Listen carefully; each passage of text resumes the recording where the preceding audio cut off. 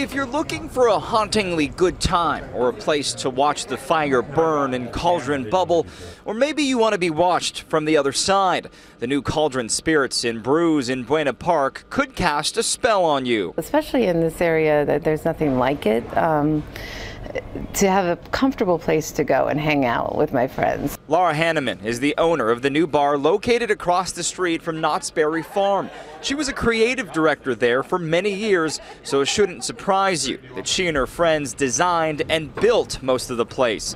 She wanted the spooky vibe to blend a tavern with an overlay of witches. As you're sitting here and drinking or having a, a nice bite, they're going, did that move? you know, or do I need another drink? You know? So. But she says don't let the sorcery make you forget the food and drinks.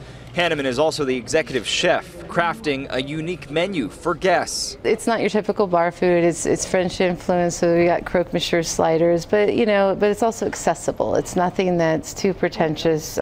If you're looking for a little more privacy, you can request to go behind the bookshelf and into the private room.